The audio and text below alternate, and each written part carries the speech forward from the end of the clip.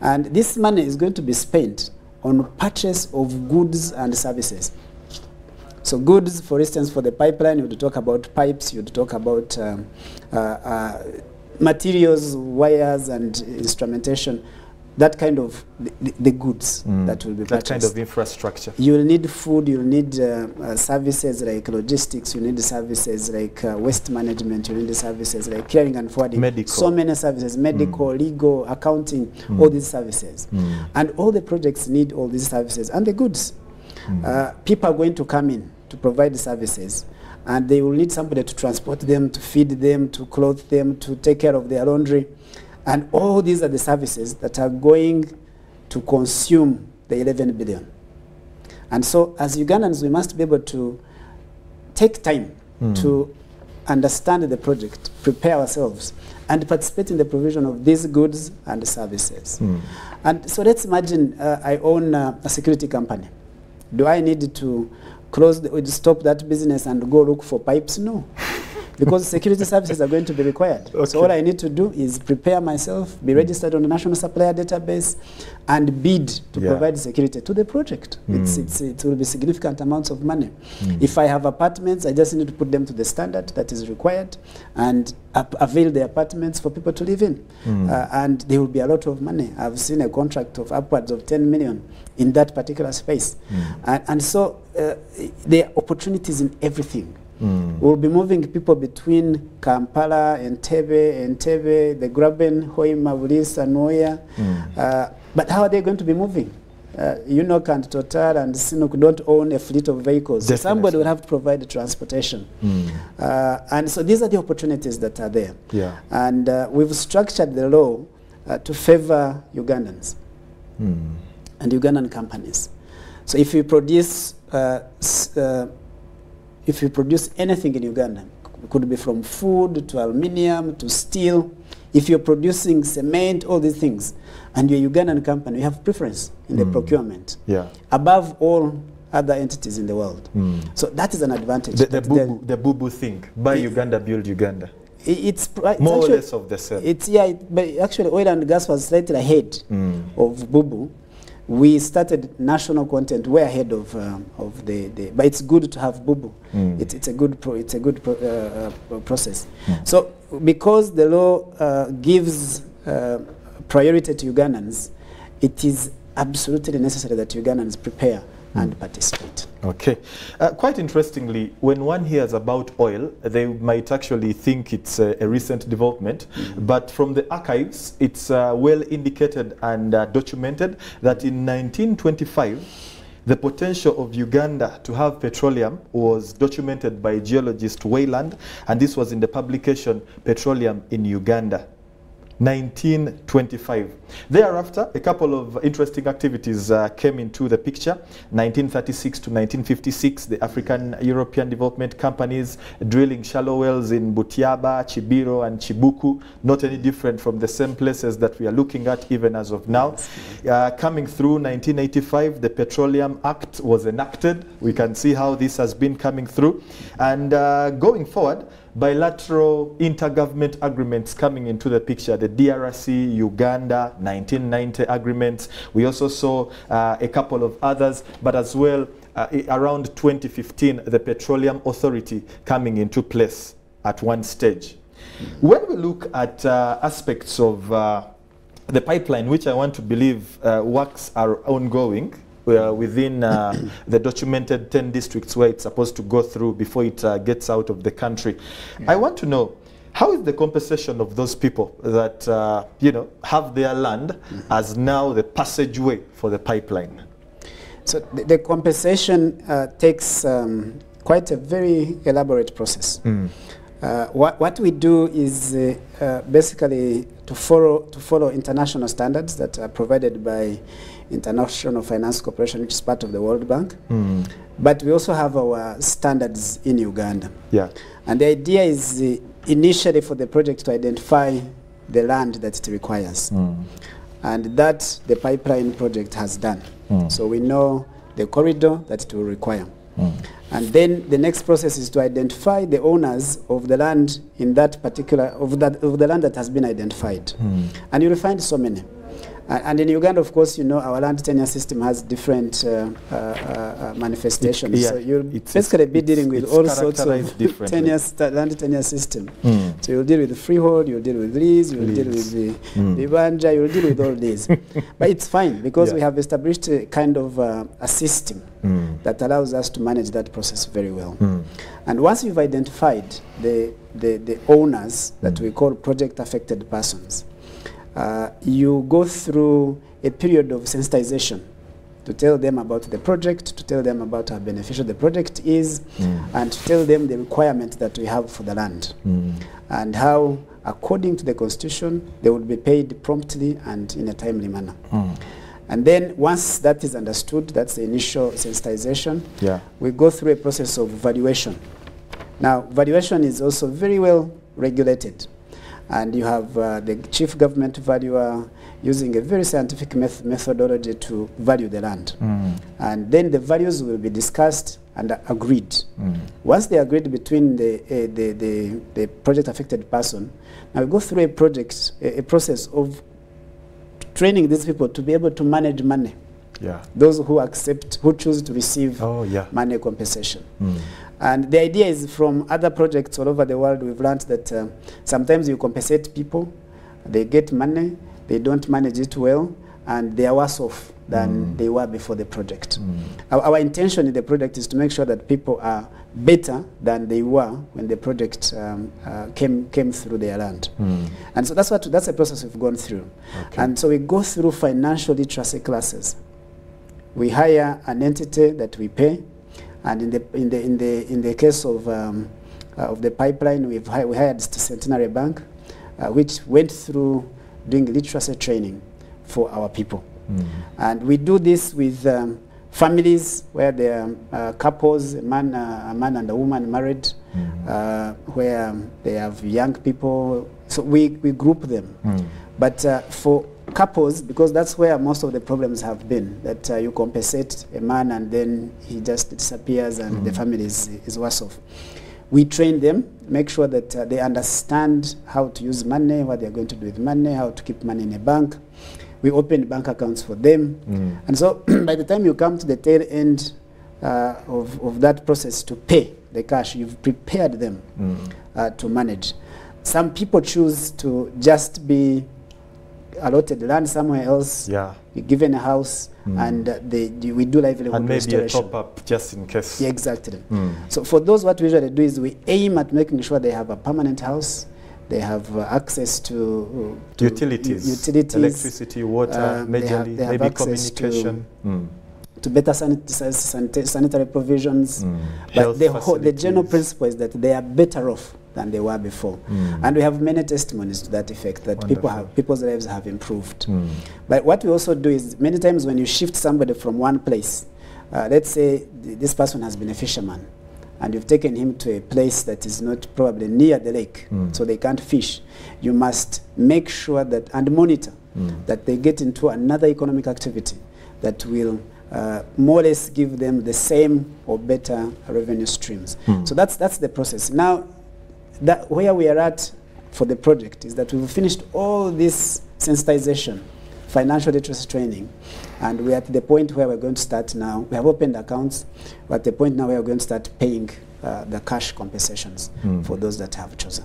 I like I like it uh, if, if the description was money lessons. Mm. People are, are graduating in the money studies. Uh, by the way, talking about uh, the pipeline, Yes. There's always that uh, kind of query that people ask us when we do discussions of the kind. Once we are off the TV set uh, within the society, people will ask us, why a pipeline? Why not road? Why not uh, water? Why, why, why was it the pipeline that was chosen?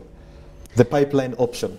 Okay, so it's, it's an interesting question. Mm. But it was chosen for three reasons. Mm. One is commercial, it is cheaper than road, than Mm. rail. Two is safety. Safety, you know, crude oil is not a, is a hazardous product. Mm. So when you put it in trucks or you put it in um, on a train uh, for 1,400 It's, it's exposed. kilom- kilometers, Mm. you expose, you risk the, the entire population Mm. uh, along So, that so the route. pipeline is not seen at any one time. It is. Uh, no, it's buried. You Oh. won't see it. You won't even know that it is there.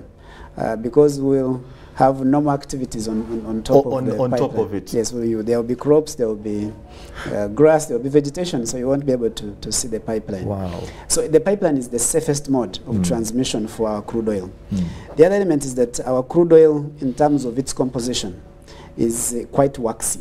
So its viscosity, it doesn't flow Yeah. uh, unless it is uh, within a particular temperature. So thick. Yeah, so for it's easier to hit the pipeline than to hit a trailer, to hit a train, Mm. um, uh, uh, continuously hit many train uh, tra- train train segments to, to go to the sea or many or many or many trucks. Yeah. So a pipeline is easier to hit to Mm. make sure that the crude continues to flow. Okay. And so based on that, we, we, we chose and decided that um, the pipeline was the best mode of transmission of the crude to the sea. Mm. And we also had uh, routes that we looked at, but we eventually chose the route uh, through Tanga, through Tanzania to Tanga, uh, because it was the least cost uh, route. Mm. Yes. Wonderful. Uh, I need to know as well, on behalf of uh, my dear viewer uh, who is watching us on UBC TV, as we do tackle this interesting talk, what next after the FID, the final investment decision?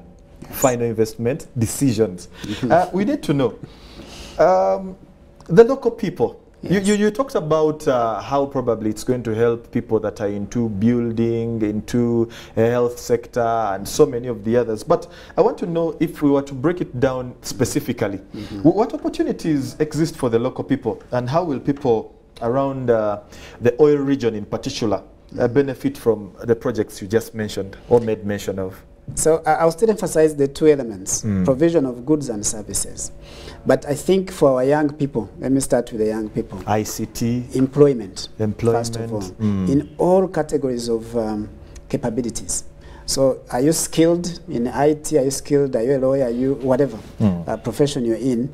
You are required, and I'm sure you've seen adverts going out in the last uh, month, and they, they will continue to, to go out. Mm. So apply for these jobs, compete for them, and please take them and, and work hard and deliver on the projects. Because the oil and gas industry is very interesting. Mm. Because when you get into it today, you can be you can be recruited by Total Energies or CNOOC here, and you do an excellent job. And before you know it, they've taken you to another project in Nigeria or in Rwanda or in in, in, in, Angola or in in um, in Algiers or anywhere. So you become an international player in the sector. Hmm. So apply, put in effort, and make sure that you you you, you get the jobs. But many times uh, uh, we have we have many of our young people who are not exactly skilled and they are not accountants they are not but they have gone to techni- technical institutions Yeah. so they have technical skills Mm. these are actually the ones most needed by the industry well, surprisingly uh, we, we, we, we will employ more people more, more people in the blue collar category of, of, of skilling Hmm. so those who have technical skills you are an electrician you are um, in all these technical skills those who have gone to have got certifications even welders Welder, yeah. uh, all these will be required. So Mm. that's an opportunity for employment. How about those who have no skill at all, but they have the capability and the will to work? Mm. Unskilled labor is absolutely required. If you go to Buliisa now, where the central processing facility is going to be, there's a lot of earthwork going on, and there are so many young men, unskilled, but uh, energetic and willing to work, who are being employed. Basically doing clerical work. I- clerical, even uh, manual work uh, and uh, office work and uh, stuff uh, Mm. of that nature. And they, they, they are employed. So those are the three categories of employment. And in our assessment, we are going to have more than 160,000 people in those three categories absorbed by the industry. Mm. But when we talk about that, we are looking at uh, really the industry. But around the industry, you're going to create a supply chain. You're going to create other industries. And so this multiplication will continue. Mm. As the industry uh, Grows. gro- uh, puts out money, that money multiplies into other um, uh, chain, uh, supply chains that will eventually create jobs for, for Ugandans. So th- that's one component of mm. benefit. Mm. The second, and I must indicate that uh, the young men and women and people in the project areas, so Hoima, Chikube, Noya, Bulisa, that whole area where the projects uh, sit, have priority. Mm. So if a young man from Kabade, you're a young man from Bulisa, you have priority, The locals. the locals. Mm. So go and get work. Uh, of course, the nationals, Ugandans, still have priority. Mm. And so whether you're in Kampala, you are in, uh, in Mityana, you can go and get a job in the industry. That's one. Second, if I have goods, I supply eggs, or I supply cabbages, I supply all these, all these are going to be required. At some point, we'll have more than 5,000 expatriates sitting in the Graben working. They must eat breakfast, they must eat lunch, they must eat supper. At uh, Bulisa, uh, in Bulisa where we are building, the, the, the, we are starting the construction of the central processing facility for Telenga. Mm. Right now, there is a, a 4,000 man camp mm? that is being constructed. That camp Wow. will house 4,000 people. Hmm. And at some point, it will probably be higher than 4,000. And of course, We we, are talking about employees, Yes. potential employees. Employees, they will be working, they will be busy, they will be Mm. busy working on facilities. So they need to be given all services Mm. from food to cleaning to all sorts of services. Uh, they will need entertainment, they will need all these things. So the idea is that uh, let's create, uh, uh, let's be ready to pick these opportunities to provide goods and services to the industry because that's where this 11 billion is going to go. okay. So th- those are the opportunities that you're looking at if you broadly look at them in that nature. Employment and provision of services. Goods and, services. Yes. Yes, uh, was it yesterday? Yesterday was a Monday, yes. And uh, one of uh, the publications, the New Vision, uh, did uh, uh, put through, uh, it publicized some of the jobs available. And I think it was one of the sister companies, Chinook, that was advertising some jobs. And someone uh, did uh, get down to Barbara Kaija, one of the, the bosses at New Vision, and asked, How do you expect people to get these jobs when the jobs are asking for 10 to 15 years experience? Uh, and I mean, somehow, somewhere, it, it's, it's uh, uh, trickled through my mind, so I'm putting it to you. Yeah. Uh, 10 to 15 years experience, have people already been uh, into this kind of uh, uh, uh, uh, preparation for such uh, opportunities coming their way? Well, we have a few people that Mm. have experience. We have uh, a few Ugandans that are trained, that have been in the industry, Mm. and those would fit uh, into that uh, the job description. We also have Ugandans who have worked in the industry but outside the, the country. Oh, yeah. And many of them have been coming back uh, to, to, to, to join the industry and work. Mm. But that should not uh, intimidate our people because the jobs that require that manner of experience are largely highly technical jobs. Uh, that, of course, if you're going to go to, to, to be a manager of a drilling rig, uh, you need to have experience because it's, first of all, very expensive to have a rig, it's dangerous. Uh, it's risky, so it Yeah. has to be properly managed. So for those very technical jobs, we will definitely require people with experience. Okay. But the, the majority of the jobs, especially in the blue collar category, Hmm. require minimal uh, skilling uh, and uh, certification. Mm. Yes, so the opportunities are still there. There's always been that uh, tag attached to countries that have uh, finally gotten the blessing of oil and gas. And that tag has always been the oil curse, in most cases described as the oil and gas curse. Mm. I'm wondering, should we actually think at one stage that is likely to happen to Uganda? Will it become a curse that we have the oil and gas? Okay. Uh, that word is used a lot, and I think I've heard it more than I've had uh, the, the blessing uh, connotation to a wonderful resource like this. Yeah, sure. But I, I like uh, breaking things down so that we, we, we all speak from the same uh, point of view. Yeah. Uh, so the, the- what it basically means, what the oil gas means as a, as a, as a, a subject, Mm. is that uh, the research was conducted and it was found that uh, s- for some countries that are rich in resources, Mm. uh, from the point they discovered through exploitation, they've had uh, negative development in all human development indicators Yeah. compared to non-resource rich. Mm. And then, of course, research went in to see why does this happen. And uh, certain reasons have been set out, but uh, most of these reasons are largely environmental, um, contracting uh, uh, terms, the terms that you, con- you contract, Yeah. and uh, how you use the revenue from the resource. Mm. So let's start with environmental. You must be able to have a stringent environmental regime to ensure that the resource does not destroy your environment. Mm. And uh, in Uganda, we've learned uh, lessons from states that probably didn't do it well, and we have one of the most stringent uh, environmental regimes. Mm. So we are sure that um, uh, the environmental standards we've set will protect our environment, will protect our people, will protect our, our, our flora and, f- and fauna. Mm. And so we've learned that lesson and we put in place a very stringent regime. So that's one way of tackling The the, occurrence of the curse. Mm. Yes. And I will tell you one little uh, provision we have in the upstream law Mm.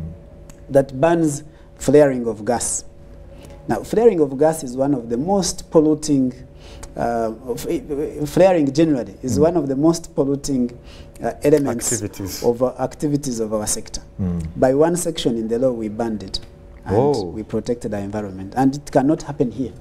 No one can flare because it's criminal to Mm. do it. We've made it criminal.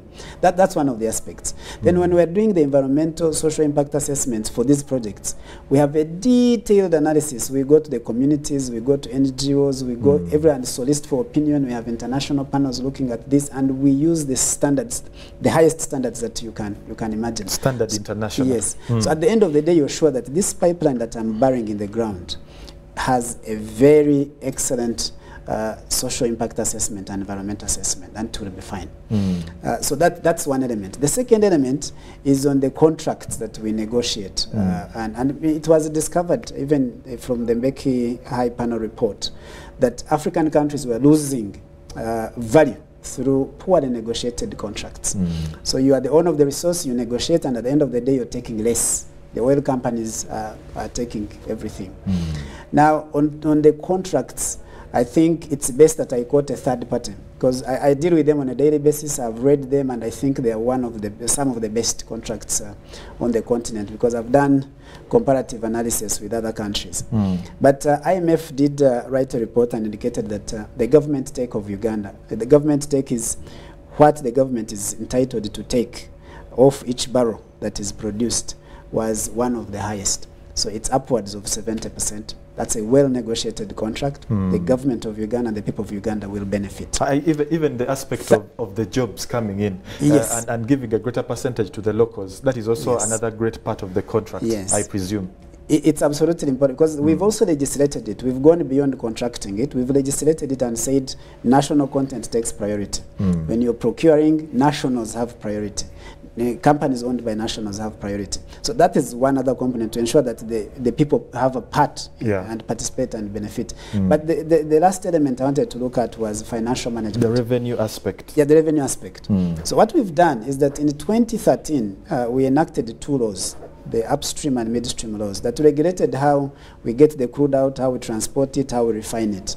Uh, but we did not legislate on how to manage the revenues that come from uh, that activity, those activities. Mm. So in 2015, the Public Finance Management Act was enacted, and it has a very, very extensive provisions on how revenues will be managed. But briefly, Mm. the revenues from crude oil in Uganda will not go to the consolidated fund. They will go to a dedicated account called the, the- called the petroleum fund. And they can only be removed from the petroleum fund with, through appropriation of parliament for two tasks. hmm One, Yeah. for investment for future generations.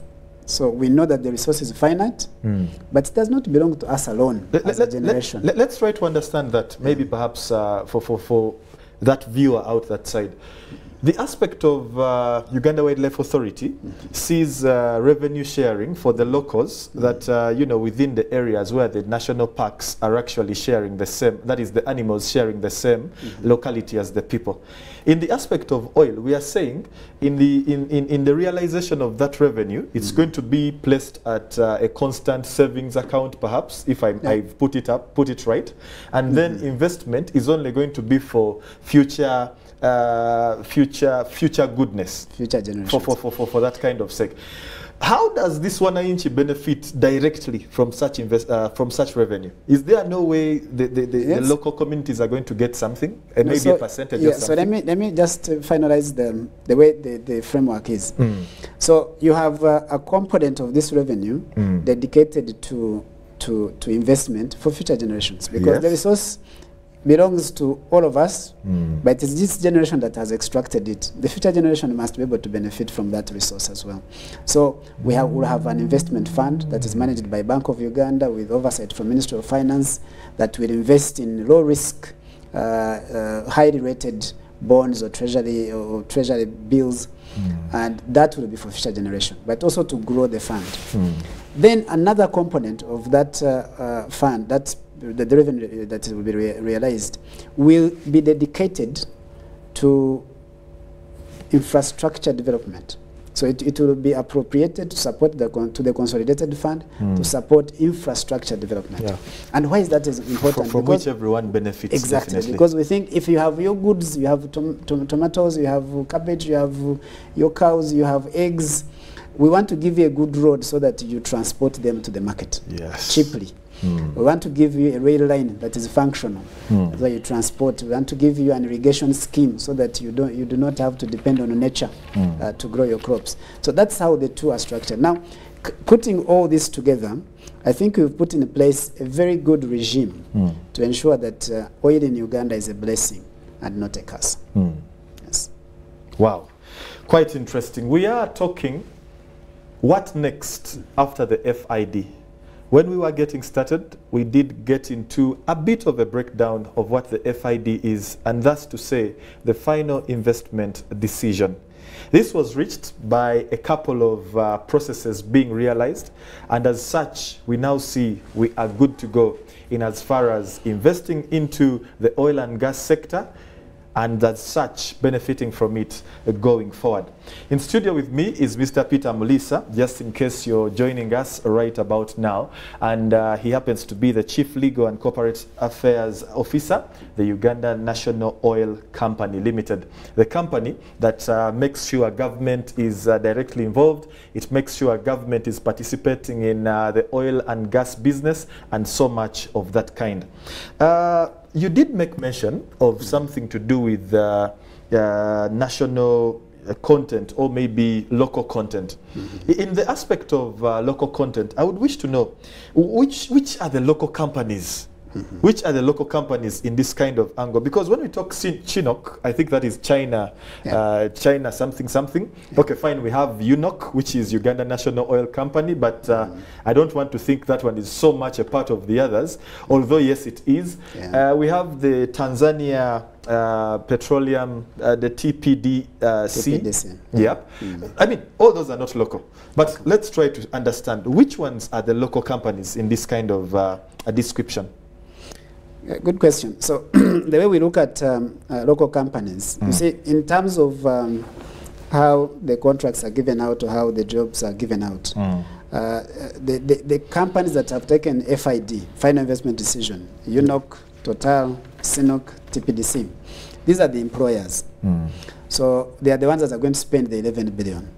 Now, the companies that we talk about as Ugandan, as Ugandan companies are the companies that are going to come and say, I can provide goods, I can provide services, I can provide uh, all these. Yeah. So that's, we call them contractors or subcontractors, you, you might say. Yes. And they all fall in different categories. So you'll find some in logistics, you'll find others in, in medical services, you'll find others in waste management, you'll find in all sectors, hotels, uh, cement producers, uh, steel producers, all these. But what we've done in the definition of a Ugandan company, but what we've, what, what the law says, basically is that uh, a Ugandan company will have priority.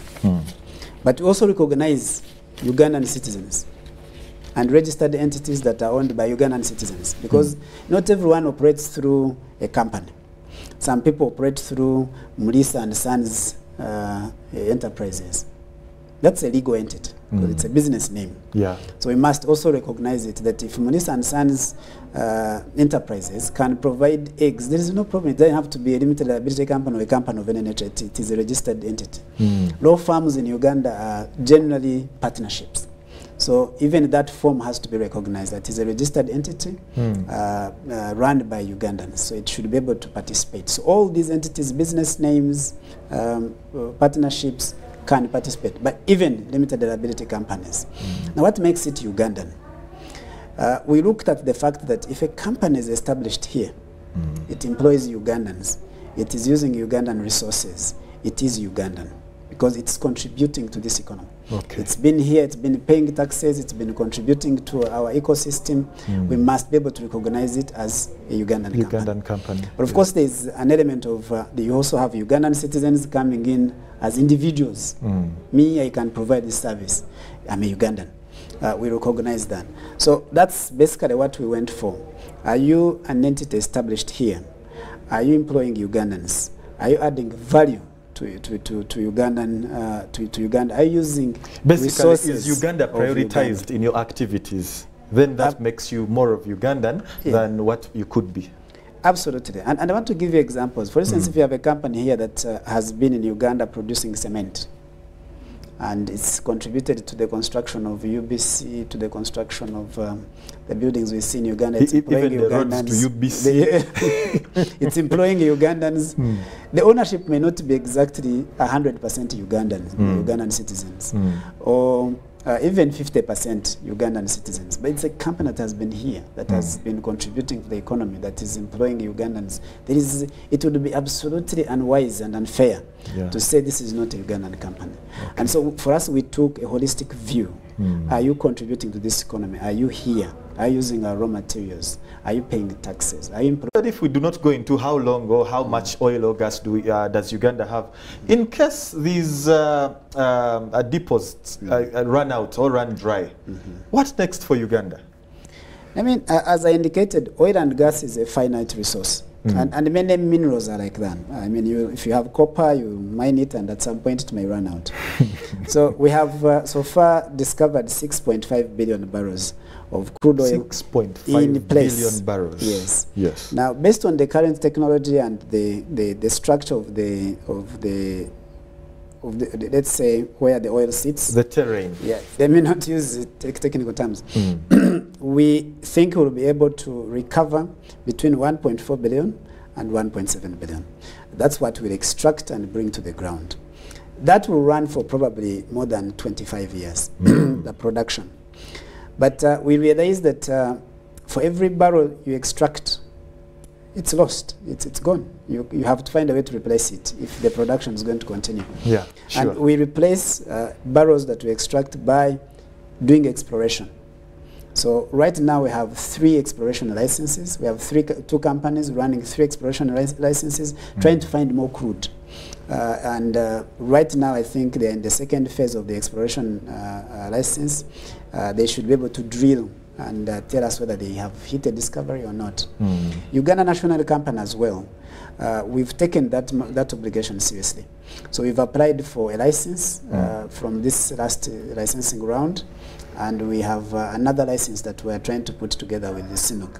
So we are ramping up the activities of exploration Mm. so that in the next eight to 10 years, we'll be taking another upstream FID or even bringing to, to, to production Mm. other, other wells.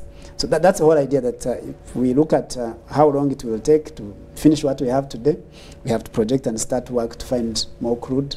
You might have heard that the ministry has started work in the Kadama, Kadam Moroto Yes. uh, uh, sector Yes. because we also have information Mm. and analysis has indicated there is possibility of um, crude in that area. So once the initial studies are done, we'll go into exploration, even for that basin, the Kadam Moroto basin. So there is still potential to find more crude, but uh, through the exploration activity that we are conducting, we'll confirm if we have the crude or not. Uh, and if we find it, very good. We'll continue to produce for the next uh, 40, 50 years. Wow. Very, very interesting what this discussion is bringing to the table. And we hope as well for you that is watching us on UBC TV, it is as interesting. Uh, Mr. Muliisa, I think uh, it's this particular time that I will request you to uh, come through with uh, a conclusive remark concerning the FID. I don't know what exactly you have prepared for us. I don't know how you've prepared it, but uh, just about now, I wish you could actually uh, give us a conclusive remark on the FID, the final investment decision. Uh, thank you, Kent. And uh, I'll look straight in, at uh, my, my fellow Ugandans. And I know there's a lot of skepticism that has uh, engulfed our generation. I, I, I'm not a sociologist, I can't explain it. There's a lot of skepticism. Uh, people tend not to believe what uh, uh, they are told. But I, I want to confirm to you that uh, this investment is here. Uh, this oil is going to, to be produced in the 2025 first quarter, without a doubt. And the 11 billion dollars that I'm talking about is going to be invested in the next four years. It's a huge opportunity for everybody, and we need to believe that this opportunity is there. We need to make effort to participate through provision of goods and services uh, so that we get this money directly into our pockets. And the, it's possible because we have priority, the law has favored you. Uh, well, we know that you don't know, you probably don't know where to start, but uh, we are available. We are entities that uh, are funded by taxpayers' money, so feel free to disturb us. We are at your service. Uh, Uganda National Company has a website. Please visit the website. Get to us. Send us questions. Send us requests. We are on plot 15 Yusuf Lule. Come visit us and ask us all the questions that you need. To participate, you must register your company or your business name or your partnership uh, on the National Supplier Database. It's a very easy process. It can, can be done online. It's managed by the Petroleum Authority of Uganda. They are based in Entebbe uh, uh, on Lugard Road. Please go to them and disturb them if the system does not allow you to register. But make sure that you register to participate in this sector.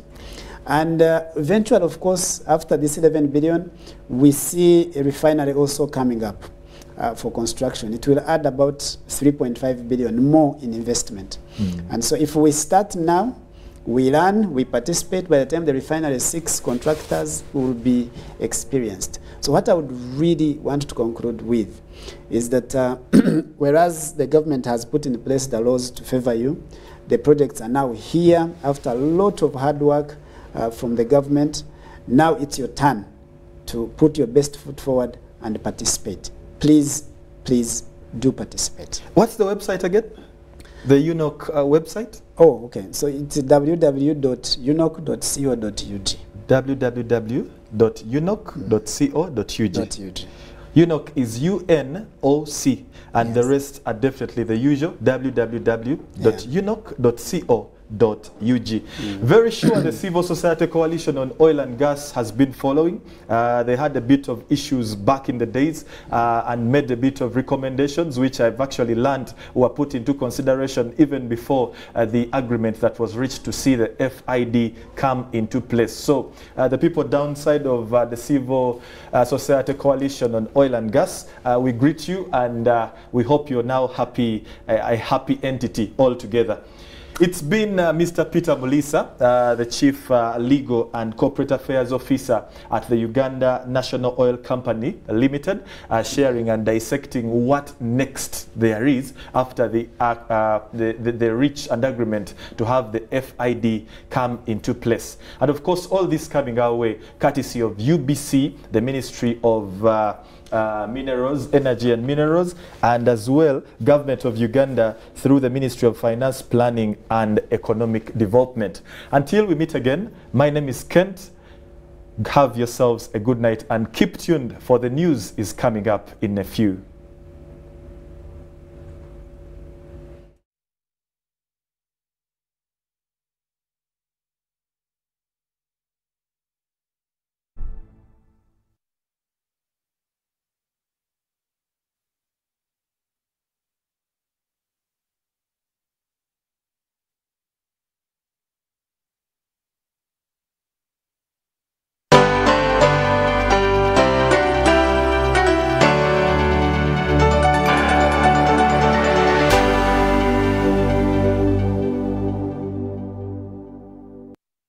COVID 19 is still here with us. As Sheikh Ramadan Mubajje, the Mufti of Uganda, states, let us all take the necessary precautions.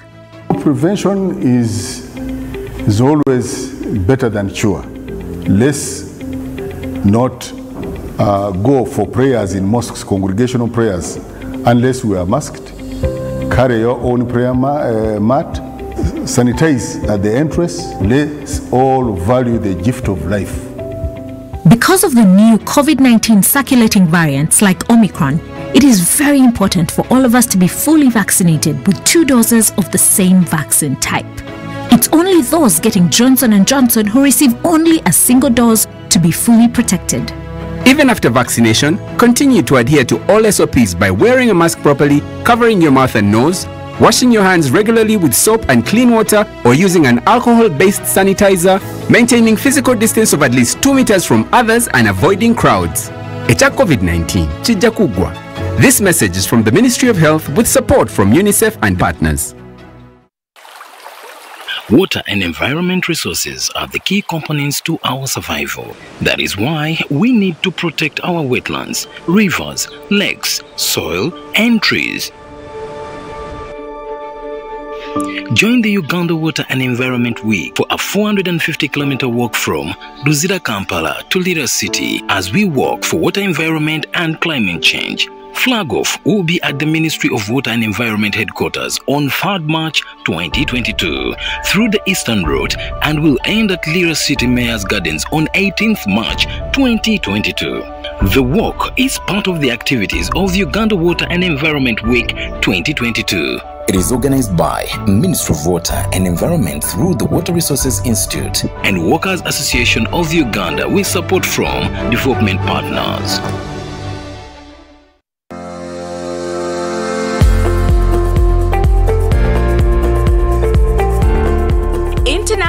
Women's Day is commemorated on the 8th of March every year. This is a day on which the role and importance of women is focused on, and also when mistreatment of women or violations of women's rights are addressed. We also have enough air to It is intellectually engaging. And you can only become a leader when there are problems. I like that. The same applies to, to, to Rwanda, Burundi. So what are we federating?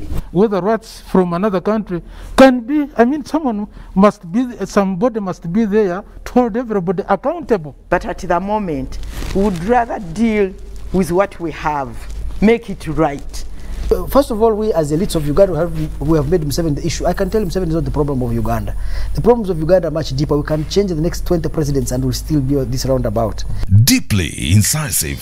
the different political forces that, that we have in the country in the, in the country we we don't seem to really have achieved that you know minimum political consensus over certain things Authentically symbolic and insightful. Behind the headlines every Wednesday at 10 p.m. with Charles Odongtho. All on your public broadcaster, UBC, inspiring Uganda.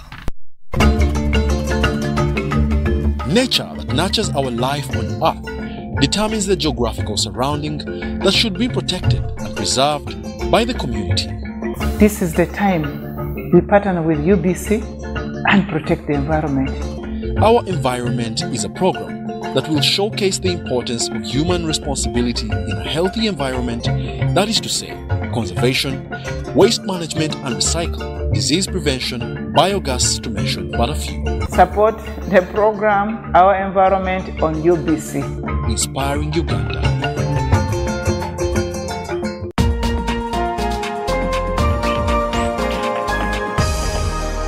This week on UBC. Oh, I was so good in mathematics. Hmm. People might say she brags a lot. Yes, I was really good. I was really good at, at mathematics. Things just changed, and then I dived to biology. Hmm. We are people who really have a wide understanding of the available courses, hmm. uh, you know, all these, you know, uh, opportunities, and then talk to those students, so they are not limited or they don't regret, you know, not doing something they are not good at, because it doesn't make sense for you to force yourself to do something you cannot, you cannot do, do. and then fail it. An amazing episode yet again. Our super soul sister is Annette Nakazi. Mm, you know, I had this mindset that if people go abroad, they're going to they make money automatically, as if they they get them, uh, you know, from trees. tree. You know, I go for what I want, and for me to go for that, I make sure I surround myself with people who love to see how success or greatness looks, Looks on you. me. Yeah. Indeed.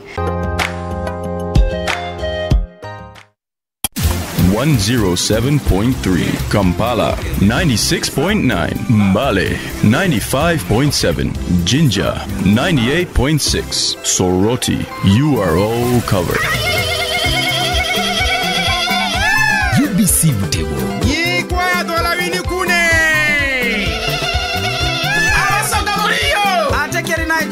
Naiteso aibijasesi UBC Butembo.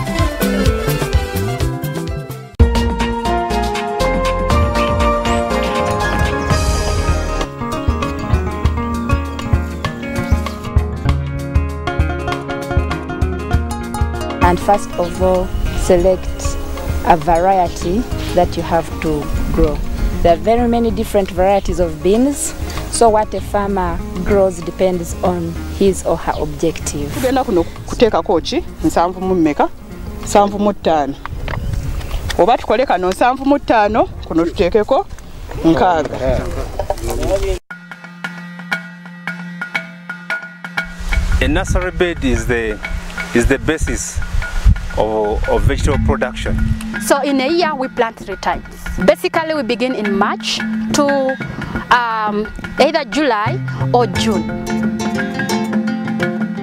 We want to put our onions, cabbage, and then uh, tomatoes. You have to start with a good, well-made nursery bed, and of course not leaving out a quality seed. Currently, the level of hybrids is going up, unlike the OPVs, because the production of hybrids is higher.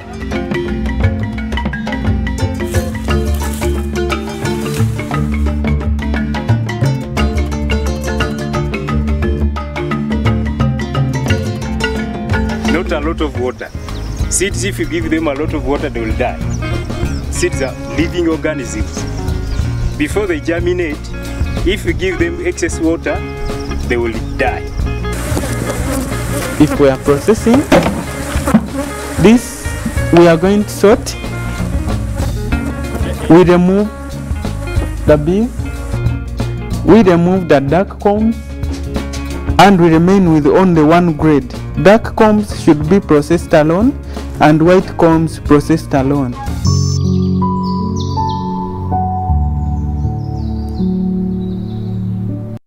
It's that time of the year again when Rotary is changing power.